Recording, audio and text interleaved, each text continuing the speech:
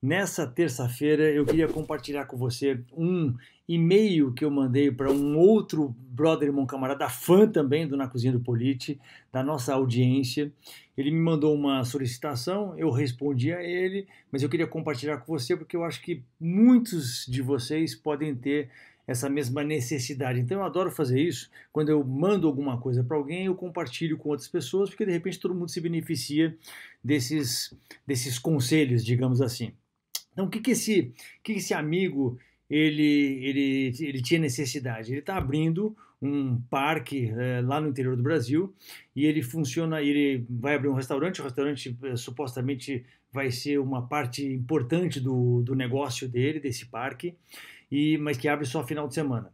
Então, ele falou assim, ó, o Politi não estou afim de fazer, de contratar uma consultoria muito pesada, que vai é, definir um monte de coisas, é, que vai é, vir aqui e estruturar. Porque normalmente, quando você contrata uma consultoria é, para abrir um negócio, essa consultoria pode ser de A a Z, ela pode ser total, definição de todos os cardápios, todas as fichas técnicas, todos os processos, é, tudo como funciona, toda a contabilidade, toda a parte de relatórios, toda a parte de treinamento gerencial, treinamento da galera, abertura. Pode ser uma consultoria completa que normalmente custa caro. Isso eu estou falando para pessoa que não tem é, é, experiência com outras operações gastronômicas. Né? A pessoa que tem uma ideia, quer construir um negócio, mas que não tem experiência no assunto. Então você tem que contratar uma consultoria.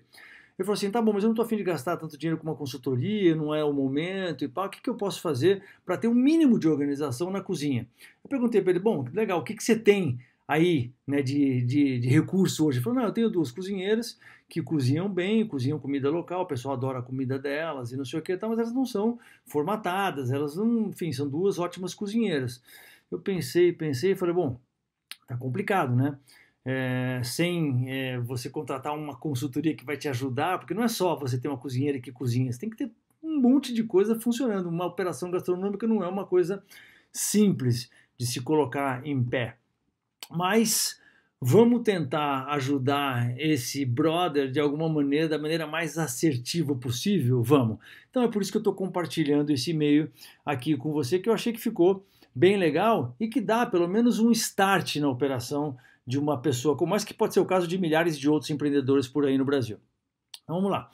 É, a primeira coisa que eu falei para ele é o seguinte: está escrito aqui. Se você confia na capacidade de criação né, e execução dessas suas cozinheiras, beleza, elas sabem criar pratos legais, elas sabem executar pratos legais, você já está saindo de algum lugar.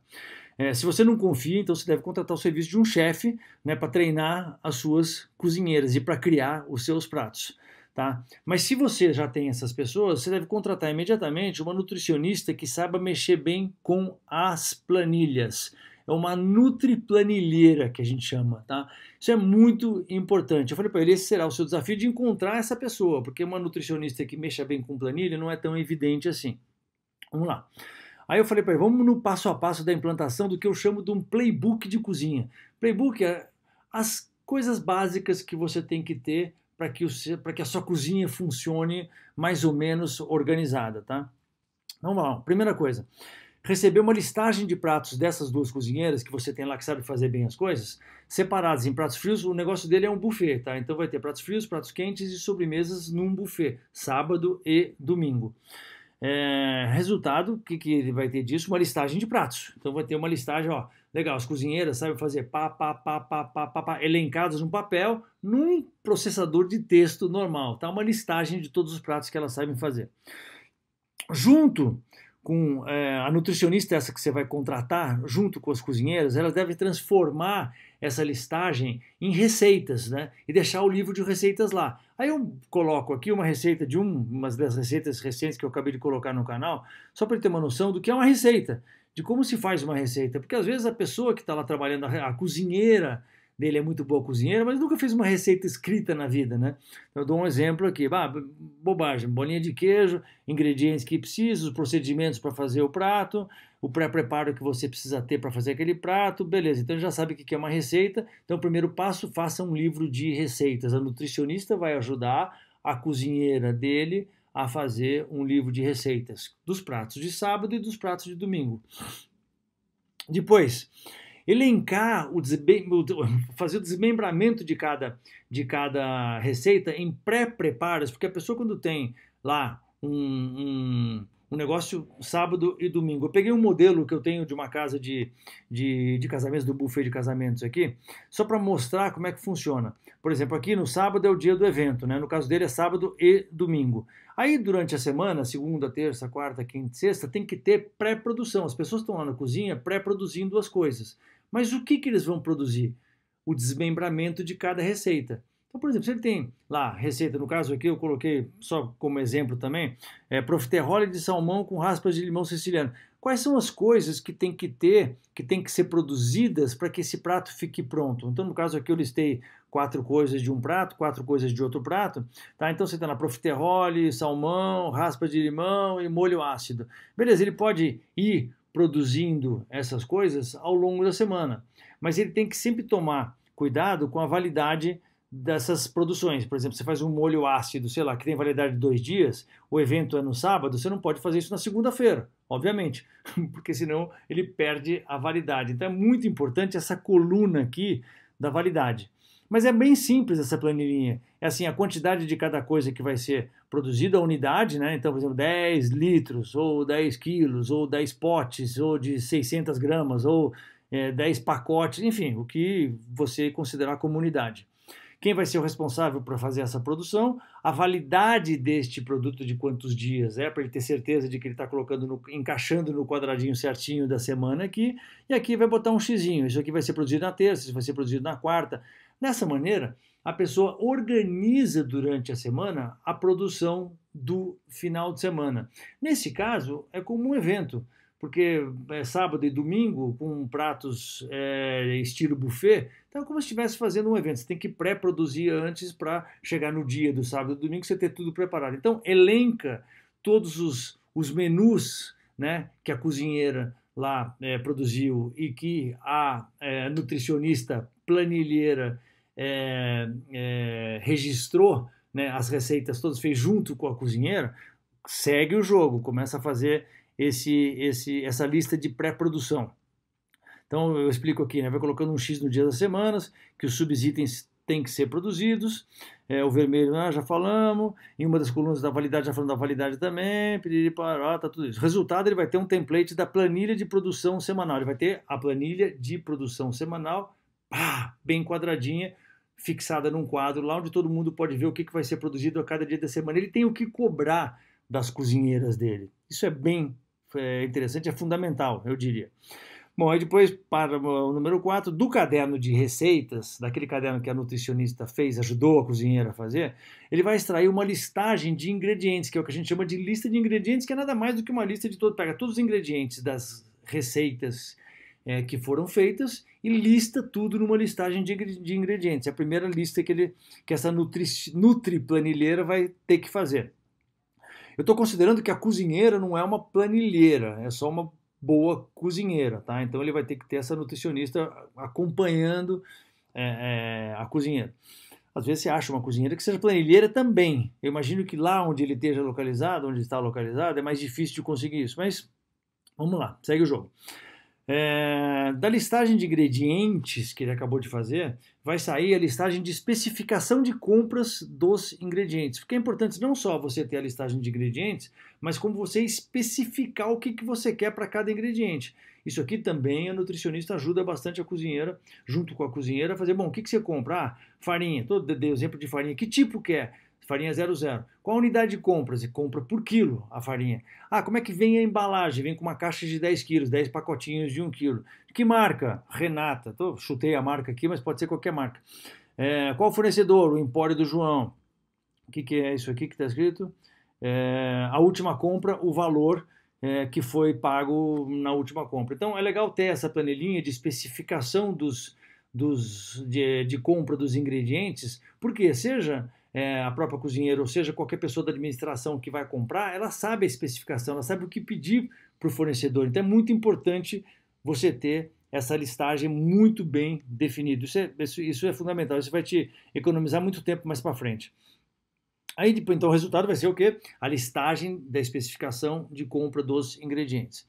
Finalmente, ele vai ter uma listagem de estoque mínimo e estoque de reposição, porque ele tem lá todos os itens que ele tem em estoque, certo?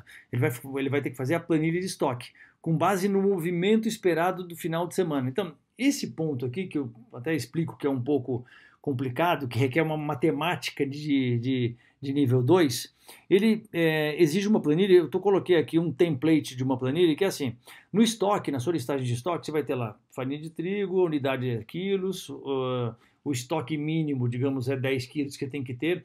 Isso tudo tem que ser calculado. Quanto que é o estoque mínimo que eu tenho que ter de cada item?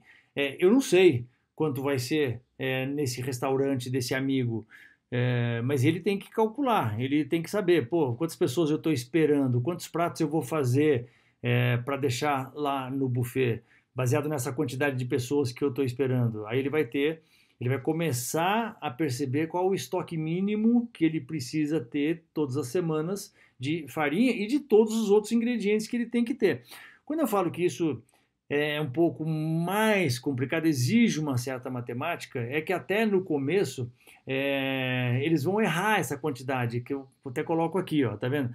Mas eles devem sempre estar revendo essa planilha até chegar numa matemática confiável, até acertar nesse estoque mínimo. No começo vai ser difícil, vai passar umas duas, três semanas chutando os números e vendo se dá certo, tá? Mas é importante ele sempre revisitar essa planilha, porque aí chega uma certa um fluxo, né, depois de algumas semanas, que ele já está com o negócio certinho, aí essa planilha vai ser muito útil para ele. Então, a planilha de contagem de estoque ela é bem simples. Tem aqui farinha de trigo, quilos, 10 quilos de estoque mínimo, ele vai lá e conta toda segunda-feira. Passou o final de semana, segunda-feira ele vai contar, ah, tem 3 quilos. Se o estoque mínimo é 10 quilos, ele tem 3 quilos, então ele tem que repor quanto? 7 quilos. Então é só fazer isso com todos os ingredientes né, da sua lista de ingredientes, da sua lista de estoque.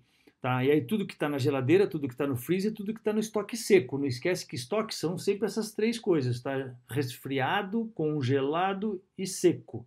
Tá? Você tem que ter a listagem completa de estoque, colocar o estoque mínimo, contar toda semana e fazer a lista de reposição. Com a lista de reposição na mão, você vai às compras, né? com aquela listagem de estoque onde está de, é, determinado fornecedor de cada coisa. Ou seja, não é tão complicado, mas é, é, fundamental que você tenha esse mínimo de organização. Às vezes as pessoas começam as suas operações gastronômicas sem ter nem esse mínimo.